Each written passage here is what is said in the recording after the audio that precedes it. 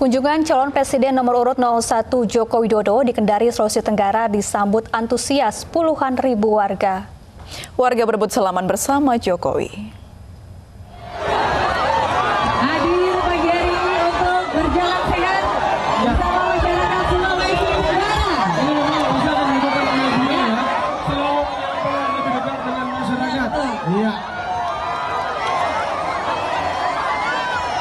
Dari atas panggung, Jokowi satu persatu menyalami warga Kendari yang ingin bersalaman dengannya. Mengenakan kaos putih dilapisi jaket bomber, Jokowi dengan senyum melayani permintaan warga. Hal tersebut dilakukan Jokowi saat membuka jalan sehat di kota Kendari Sabtu pagi. Puluhan ribu warga mengikuti jalan sehat ini. Tak hanya bersalaman, momen jalan sehat ini juga digunakan warga untuk berfoto bersama Jokowi. Iya.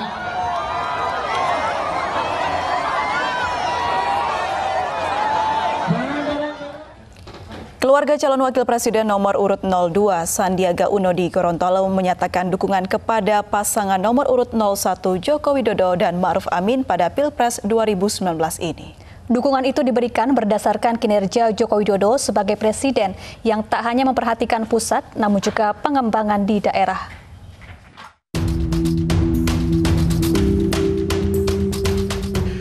Dukungan kepada pasangan calon nomor urut 01 Joko Widodo dan Ma'ruf Amin disampaikan dalam acara silaturahmi yang dihadiri langsung oleh Jokowi bersama tim kampanye daerah caleg koalisi serta relawan Provinsi Gorontalo pada Kamis malam kemarin. Memang kami menyadari bahwa ada salah satu keluarga kami yang juga ikut dalam kontestasi pemilihan presiden dan wakil presiden saat ini namun dengan benar hati kami harus menyampaikan bahwa kepentingan bangsa dan negara sungguh jauh dari itu dan sekedar kepentingan keluarga.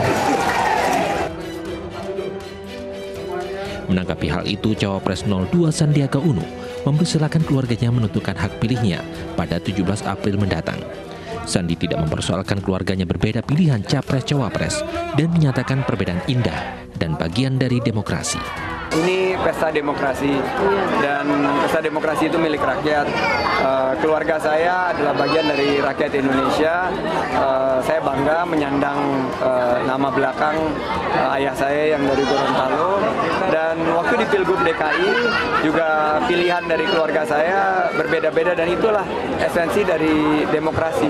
Kita justru indah dalam kebersamaan. Mungkin kita rayakan perbedaan kita dengan hati yang lapang. Sementara itu, calon presiden nomor urut 01 Joko Widodo mengapresiasi dukungan keluarga Sandiaga Uno kepada dirinya di Pilpres 2019 ini. Menurut Jokowi, dengan dukungan ini menimbulkan persepsi yang baik. Ya, ya harusnya, harusnya itu keluarga Pak Sandi Uno itu dukungnya ke Pak Sandi Uno, yang benar itu. Tapi kalau, kalau dukungnya ke saya, itu saya nggak, saya nggak ngerti yang nggak benar siapa nggak ngerti. Harusnya logikanya kan harusnya saudara-saudara Pak Sandi Uno itu dukungnya ke Pak Sandi. Ya kalau ke saya, ya terima kasih. ya tentu saja akan timbul sebuah persepsi yang baik.